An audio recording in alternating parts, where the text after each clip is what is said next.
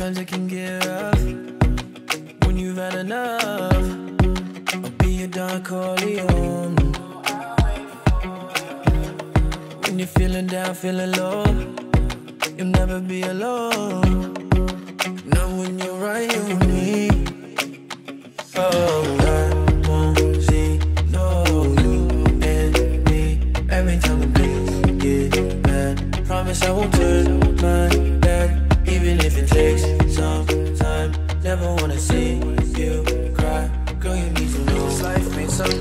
we fight. At least we're sitting side by side.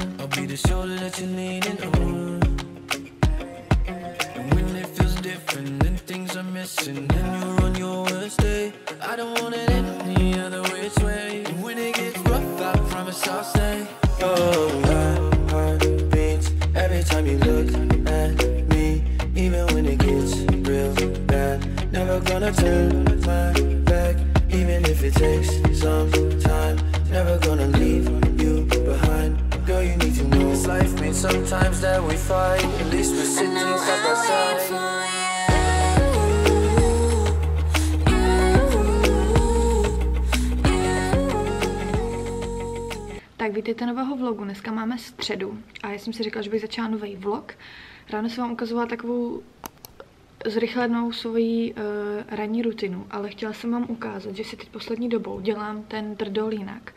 Dělám si ho teda výš a vlastně si ty vlasy vyčesám jak kdyby směrem nahoru a ono vám to udělá takový jak kdyby uh, lifting obličej, že když máte ten uh, drdol dole, tak je takový ten obličej normální, ale přijde mi, že když si to fakt jako vyčesáte nahoru, tak uh, vám to udělá takový lehonký a takový jako možná pro někoho nenápadný, ale vzhledem tomu, že já mám kulatý obličej, tak pro mě je to docela rozdíl, takový lifting obličeje a pak si to klasicky dám do toho bobku nebo do toho drdolu. Uh, tohle už je můj pátý den, co jsem si nemila vlasy. Podle mě naposledy jsem si měla vlasy v sobotu a tohle plánuju teď nosit na následující tři dny, protože já si v týdnu hrozně ráda myju vlasy. Takže tohle si myslím, že mi vydrží do, do soboty do rána, nebo přežiju to nějak. A jsem fakt s tím hrozně spokojená a možná se mi to líbí i víc. Mě tam samozřejmě vrst, uh, vlasí, mě tam samozřejmě trčí nějaký vlásky, protože to mám teď tak jako sestříhaný víc. Ale mně se to líbí, protože to není zase tak šíleně jakoby uhlazený a profesionální, je to taková jako nedbalá elegance a nevím, jsem s tím fakt jako spokojená, pak jsem si to samozřejmě zatáhla trošku lakem na vlasy a kartáčkem, aby mi ty vlásky držely. A v tomhle vlogu uvidíte asi hodně vaření, opět, protože jsem včera zapátrala ve svých uh, knížkách na recepty a objevila jsem tam pár receptů, který bych chtěla vyzkoušet. A když to nebyl Honza, tak jsem nechtěla úplně vařit nějak ve velkým a spíš jsem si vařila třeba na dva dny, abych měla to stejné jídlo ještě do práce, ale teď vzhledem tomu, že už jsme doma dva, tak uh, je to takový jako příjemnější, že pak nejíte víceméně třeba pět dnů to stejné jídlo. Takže můžete se těšit na plno receptů. Dneska mě čeká parmezánové kuře, ale nebude to kuře, ale budu to dělat uh, s krutím masem, tak na to se hrozně těším a Honza taky, protože naši mi přivezli parmezán z Itálie a to je jako prostě úplně něco jiného, než uh, co kupujeme my tady v obchodech. A že jsem si říkala, že bych vám ukázala, co mám na sobě. No a dneska na sobě mám tady ten modrý overálek. Ten jsem vám podle mě ukazovala v jarním holu a je hrozně příjemný v tom, že je fakt jako vzdušný. Já jsem si ho teda ráno lehce přežehlovala, ale jak jsem se dělala teď v autě, tak mám samozřejmě ty kraťásky uh, lehce pomačkaný, ale má fakt velký kapsy, takže to je pro mě vždycky jako velký plus. K tomu mám jenom ty svoje pantofličky, ty ťapky z Asosu, ale je to značka New Look. Brýle mám tady ty Key a ty jsem taky kupovala na Asosu a jsou vlastně bez těch nožiček, takže jsou ideální právě na ten drdol, že když si to pak dáte nahoru, tak uh, vám to nezůstává v těch vlasech, což s těma nožičkama se mi stává často. Takže to je můj dnešní look. Takový jednoduchý prostě do práce a vydržím v tom víceméně celý den, nebo budu v tom víceméně celý den, takže vždycky chci mít prostě něco pohodlného, když jsem tady a asi mě dneska čeká i focení nějakých koberců, takže jsem chtěla něco pohodlného. A já jdu pracovat. Jedna z mála nevýhod bydlet na okraji Prahy je to, že kolem sebe máte všude pole. A teď jsem potkala domů kombajn a traktor. Takže naše průměrná rychlost byla 10 km v hodině a tu vzdálenost, co normálně jezdím, tak mám doma, tak jsem doma za 10 minut. Teď jsem to jela 25 minut. Takže takže je čtvrt na sedm. A už jsem doma. Už jsem doma. A jdem se prhnout do toho vaření. Nebo takhle? Tak a na parmezánový kuře budeme teda potřebovat kuřecí prsa, nakonec to budu dělat s kuřecíma. Parmazán, mozzarellu, křtinový cukr a tady mám dvě uh, konzervy s rajčatama krajnýma, olivový olej, cibuli a oregano. Budu dělat trošku větší porci, protože to chci dělat i na zítra na oběd, takže to budu dělat víceméně pro 6 osob, takže ještě víc než dvojitou dávku.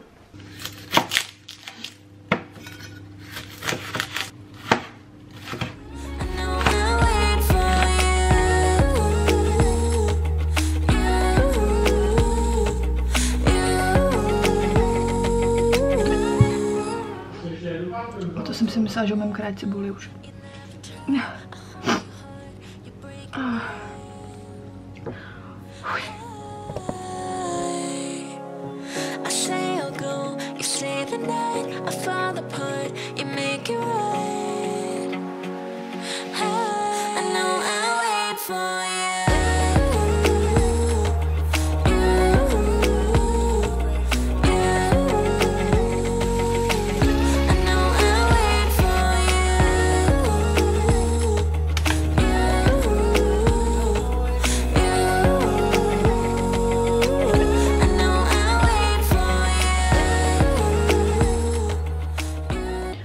Stejnou panu, kdy jsem dělala vlastně to kurecí maso, jsem si dala tu cibulku, tu jsem si osmahla, přidala k tomu ten třtinový cukr, rajčata, oregano, sůl a pepř. Teď to takhle zamíchám dohromady, nechám to chvilku povařit, dvě, tři minutky a pak to budeme dát tady do téhle zapíkací mísy.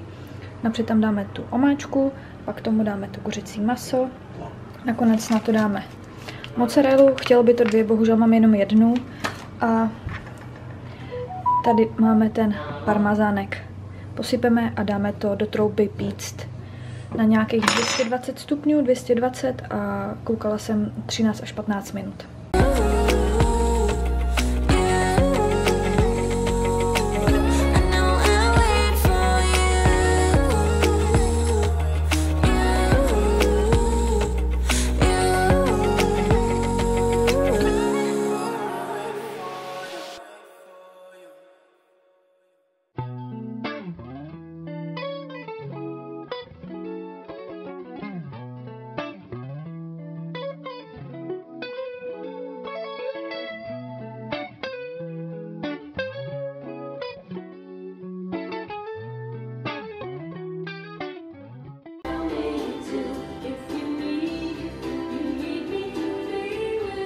Tak jak jste viděli v předešlém záběru, na cestě domů z práce jsem se stavovala ještě rychle v DMku, protože jsem tam potřebovala tři věci.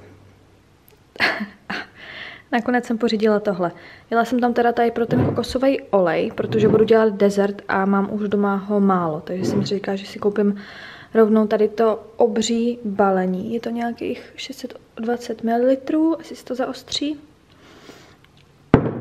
A pak jsem tam potřebovala tady ten už uh, antibakteriální cleansing foam od Sebamedu. Ten už mi došel už jako před týdnem, ale nebyla jsem prostě nějak schopná tam dojet. Takže to tady teď se snažím zaostřit. Takže jsem si ho pořídila konečně dneska. To je moje klasika, znáte to. Ukazovala jsem to už jako hodněkrát a jsem s tím furt spokojená. Rovnou jsem si tam pak koupila i tady ten dvoufázový odličovač od Mixy.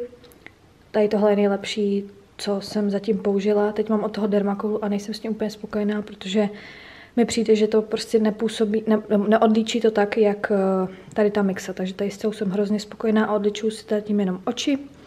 Pak jsem tady koupila tuhle řasenku od Maybelline. Říkala jsem si, že ji vyzkouším, já jsem vždycky používala tu Colosseum a tady má být tahle Smoky Black.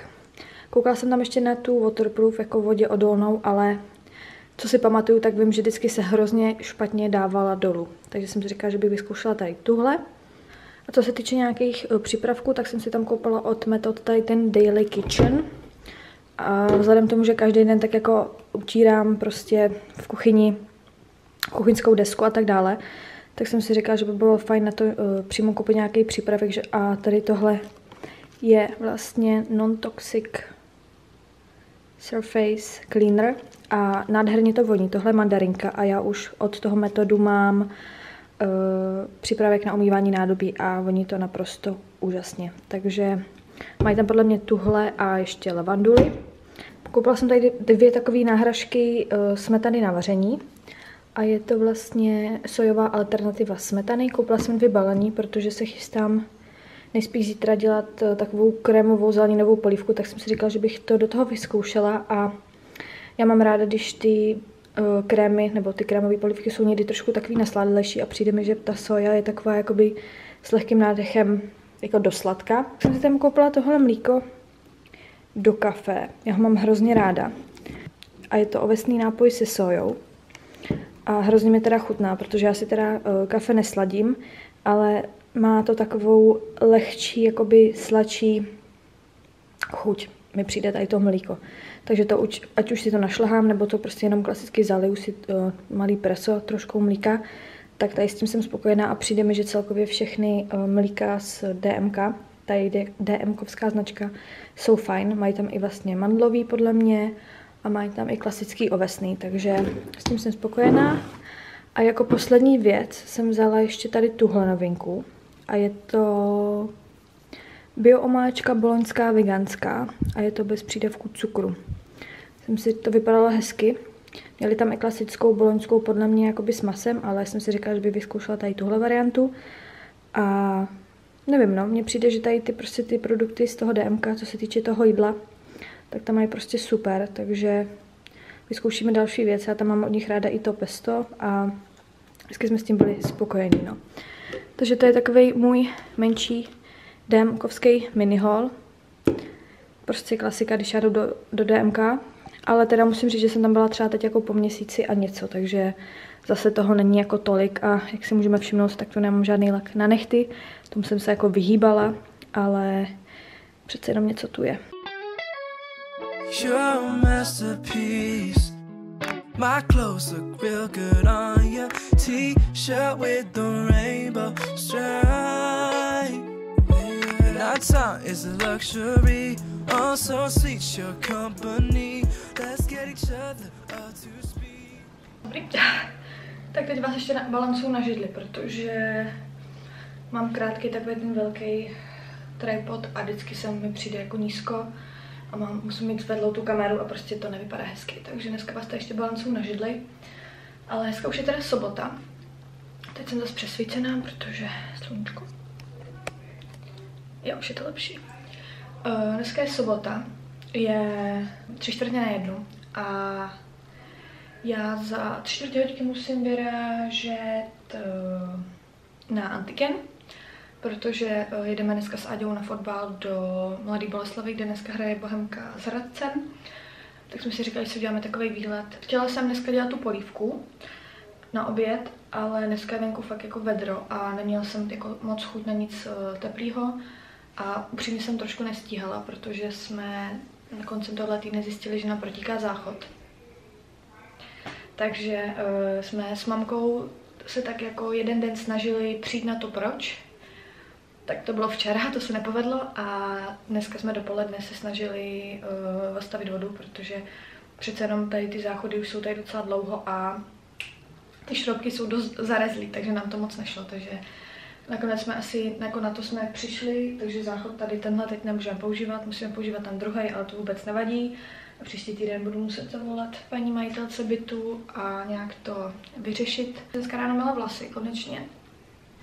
A takhle víceméně to vypadá vždycky, když uh, mi to prostě uschne a je to, jako, jsou ty vlasy jemný, ale není to takový to úplně hezký, jemný, takový to, když prostě přijdete od kadeřníka.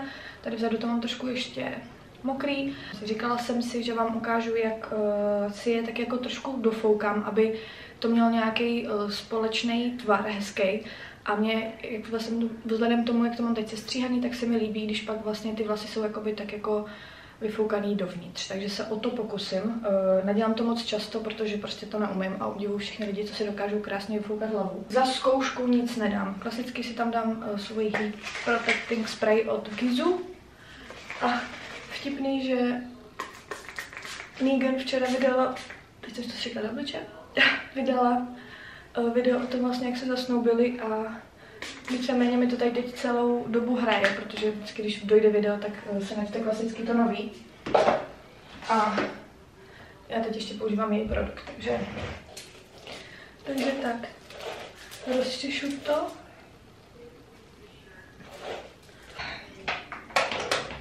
Takže mám klasický fén, klasický kulatý hřeben. Si by bylo fajn si ty vlasy rozdělit na dvě části abych ještě dofoukala to, co mám trošku vlhký, mokrý už ne, vlhký spíš ne. Uslyšíte to už v pozadí. S tím počítejte, i když teď uh, nebudu asi ani moc mluvit já, protože ten fen je hlasitý. Takže tak. A jdem na to. I can see the vista of your heels In a silhouette up on the still Dolly brush stroke with the canvas yeah. Gotta let the paint dry blood make us feel fine Body heat make the skin cry Baby, babe, it's a good night Právě mi říkala, protože ví, že mám splihlý vlasy, nebo prostě tak, že se to pozná. Tak vždycky, když, jsem, když si, nebo takhle, když chci, abych měla trošku objem, že mám prostě klasicky jenom předklonit hlavu a trošku si to vyfouká tady těch konečků. A hned pak člověk vidí, že prostě tam nějaký ten menší objem je a přijde mi, že že je to docela rozdíl. Sválně vám na fotku jsem před a teď vlastně jak to mám teď. A právě jak jsem říkala, tady tohle se mi prostě líbí takový ten blowout, jak se říká. Ještě bych to potřeba tady dole, ale to prostě na to nemám jako, na to nejsem dostatečně zrušená. Já to viděla. Ještě to trošku zafixuju lakem na vlasy. Tady ten už mám rok. Aby to chvilku drželo, tak jak má. A budu se oblíct pomalu. Není čas ztrácet čas. Dobrý den. Můžu papírek Jo.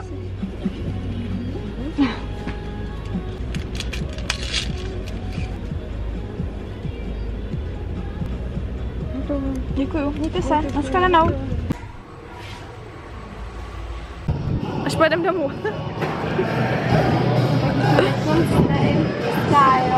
Na zápas. Ale to tam tak já už jsem teda zpátky z fotbalu, ale samozřejmě vzhledem k tomu, že mám tu nejlepší mamku na světě, tak když jsem si šla podat Teuše dolů, tak pro mě měla véču. Eh, dělala dneska domácí pizzu. Takže polévka se teda dneska večer nekoná.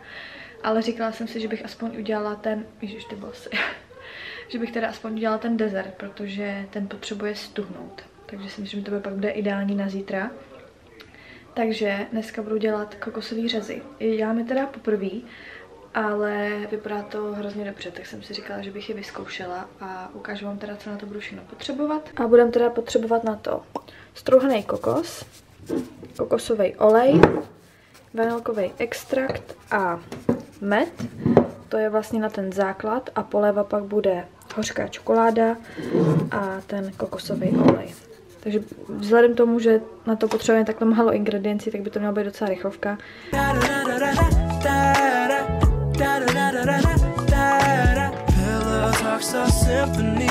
Souls connect so physically, yeah.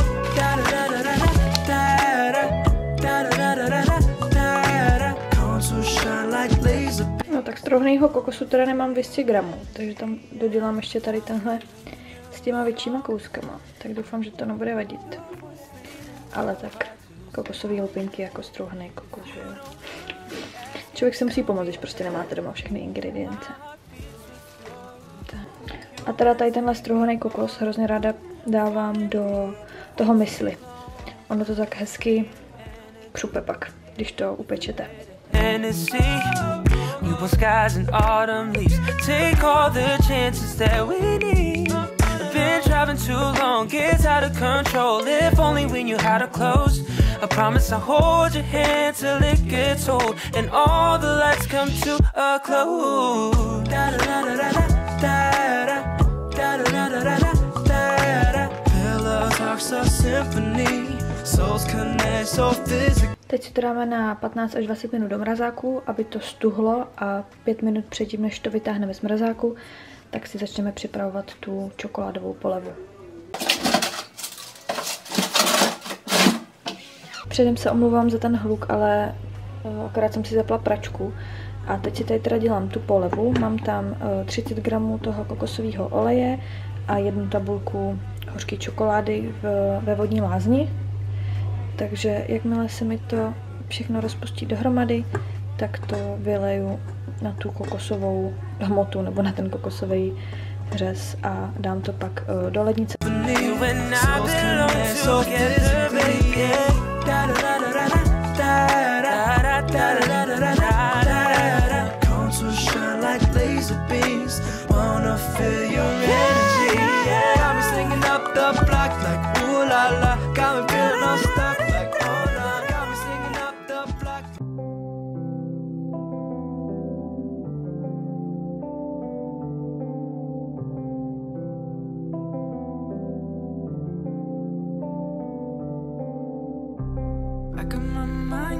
back of my mind. Just give me some time, yeah, give me some Tak jsme byli uh, v kavárně Savoy na branči a No jenom to řekni, co se ti stalo. vylila jsem tam na sebe kafe, když mi to paní přinesla. Takže to nebude vidět, ale jsem, jsem prase, no. Eh, Trapně jsem si v životě nepřipadala, Ale dobrý, zvládla to s grácí. Sice jsem chvilku myslela, že z toho záchodu už nepřijde, že utekla, že tam zůstanu sama.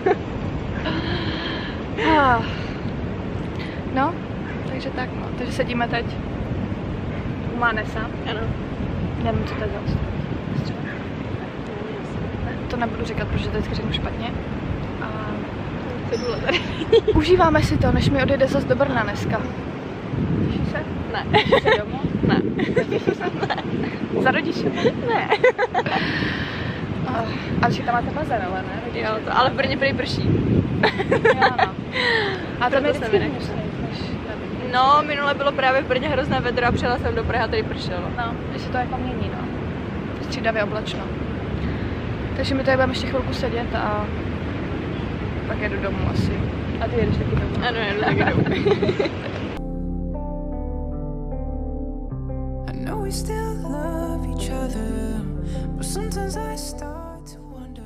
Tak já už teda pomalu jedu domů, ale byla jsem kousek od Artiku, tak jsem nám ještě koupila Danish, to je podle mě pudinkový květ a s kuřicovou rolku. Jsme tady dlouho nebyli a chtěla jsem Honzovi něco koupit, tak jsem si říkala, že bych se stavila tady. Ale samozřejmě máme doma ty kokosové řezy, tak jsem na ně zvědavá. Ale spíš jsem si říkala, že z nich udělám takový jakoby uh, bites, jakoby jenom kousíčky malý, protože přece jenom ten kokos má tendenci trošku drobit, tak ať to prostě na jedno sousto víceméně sníme. A, ale je teda vedro. Jsem podle mě asi hodně tmavá, se omlouvám. Přes ty brýle toho moc nevidím. Ale nakonec jsem si koupila i tady ty šatky v, v té merunkové barvě z HMK. Měly ještě v akci, ty stály nějakých 399 korun. Dneska se mi teda už povedlo je bohužel polít kávou, jak jsem vám říkala, ale určitě už jste je viděli v letním Lubuku, takže určitě doporučuji, jsou moc příjemný. Ten materiál je fakt boží. No pojď za mnou. No pojď za mamkou. Nazdar. Ty bobany malej. Chceš teď pinkat? Teuši. Hele, nech ten artek. No ten artek, Teuši. Ne, ne, ne. Nazdar. Tak co? Řádili jste tady s tátou? Řádili jste tady s tátou? Co? No pojď. Hoď. Už mám stejně špinavý ty šaty, jsem si ho polila kafem. Náš dar, no, no. no, no. Tak já už jdu za tebou, já?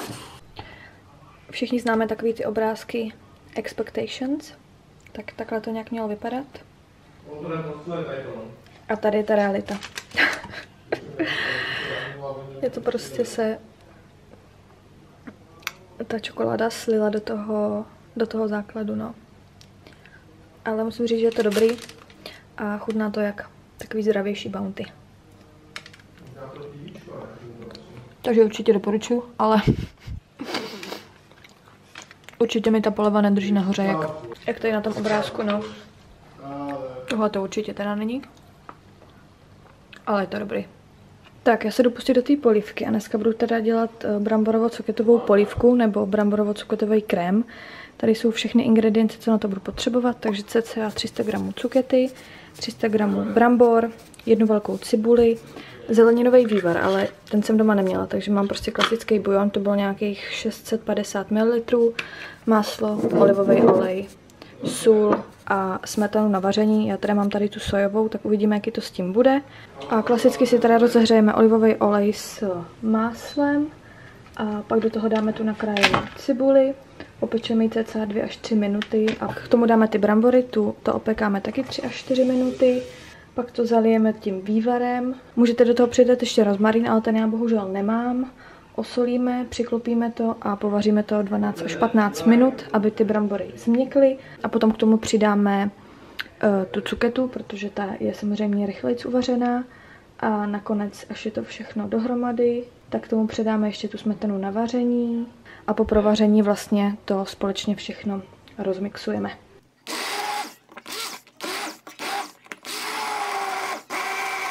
Tak polívka je hotová. Já jsem neměla tak zelenou cuketu Eh, ten obal té cukety nebyl tak zelený, takže není úplně hodně zelená, ale chutná výborně. Tak si jdu teď nandat, protože už mám hlad a přeju vám dobrou chuť.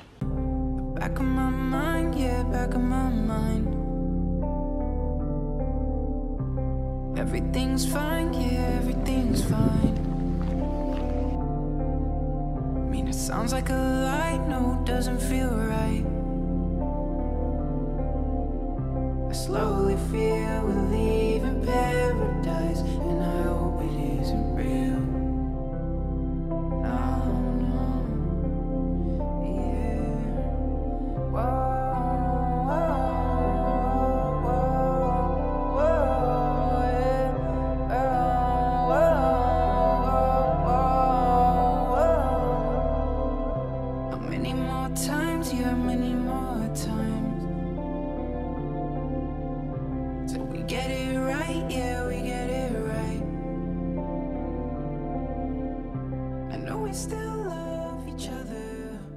Dneska už je teda úterý, já jsem s váma včera nemluvila, ale jak jste si asi všimli z záběru, tak uh, jsme, jsem byla v IKE, byla jsem tam teda s mamkou, jeli jsme tam rovnou z práce, protože ona už tam chtěla jít nějaký ten týden a mě se tam prostě vždycky nechtělo, protože jsem si říkala, že ráda bude lidí. No ale včera jsme tam teda jeli, uh, protože já už jsem tam tak chtěla si něco koupit a řekla jsem si, že bych vám ukázala, co jsem si tam koupila. Není to teda nic jako nějak šíleně uh, zajímavého. Koupila jsem si tam tyhle dvě uh, ramínka dřevěný a pak jsem si tam tady ještě koupila tady ten rámeček a on se buď dá postavit, anebo se dá pověsit. Tak jsem si ještě koupila Monsteru. Tu kitku chci už asi několik let a přijde mi, že ji moc teda všude neprodávají. Viděla jsem ji podle mě akorát v Hornbachu, ale tam za ní chtěli 900. A to jsem si teda řekla, že za kytku rozhodně nedám jako 900 korun. Ale koupila jsem si ji včera, taková polostředně vysoká bych řekla. Stála nějakých 299 korun a velký květinač na to mám doma, takže to. ale je úplně nádherná. Já už bych se v tomhle vlogu s váma jenom rozloučila, protože si myslím, že to video bude, nebo ten vlog bude už asi dostatečně dlouhý. A zase nechci, aby měl 40 minut s těma všema receptama. Ale říkala jsem si, že bych vám dala aspoň update ještě ohledně toho záchodu. Takže v úterý jsem si volala s panem instalatérem a bylo mi řečeno, jak mu poslu fotky. Tak jsem mu je poslala a dneska mi volal, že to asi vypadá na výměnu celého toho splachovacího systému, protože ta součástka, co tam prostě přestala fungovat, nebo nefunguje tak, jak má, tak uh, je už hodně stará a nedá se úplně jako nejjednodušeji sehnat, takže by to třeba trvalo měsíc, než by to sehnal a tak dále, takže uh, jsme se domluvili s paní majitelkou tohohle bytu, že se asi nejspíš vymění celý ten splachovací systém, což znamená, že nám budou muset vysekat uh, ty dlaždičky, protože pod tím je asi sádrokarton, vyměnit ten systém a zase to zpátky zasádrovat a uh, obložit to těma kachličkama. Takže teda se na to přijdu podívat, uh, jak to teda nakonec bude, takže jsem na to docela zvědavá. Jako máme jediný štěstí, že prostě máme ten druhý záchod, kam můžeme chodit, protože si nedokážu jako představit, že bychom měli třeba 14 dní, bychom tady byli bez záchodu. Takže to je taková jako jediný, co si říkáme, jo, tak prostě až, až to bude fungovat, tak to bude fungovat. Hlavně, že nám, že nám nebude protíkat ta voda, protože ono se to nezdá, ale přece jenom když si toho jako nevšimnete a v té nádržce je vlastně tam jakoby ten velký a malý splochovací systém, tak v té malé je 6 litrů a v té velké je 9. A když vám to takhle třeba protíká měsíc, tak uh, vám jako proteče hodně vody. Tak uvidíme zítra, no, tak mi držte palce, jak to nakonec dopadne, ale uh, jak říkám, já už bych to tady ukončila. Moc děkuji za shlednutí tohohle vlogu. Budu moc ráda, když mě začnete odebírat, protože víc než půlka lidí, co na mě kouká, mě neodbírá, tak budu moc ráda za odběr, nebo za komentář, nebo za like. Je tady teď rozptuluje už, takže se předem omlouvám, protože už tady na mě před chvilkou kňučil, že chce ven. Uh, najdete mě taky na Instagramu a dávejte na sebe pozor, hlavně a uvidíme se brzo u dalšího videa. Tak pa!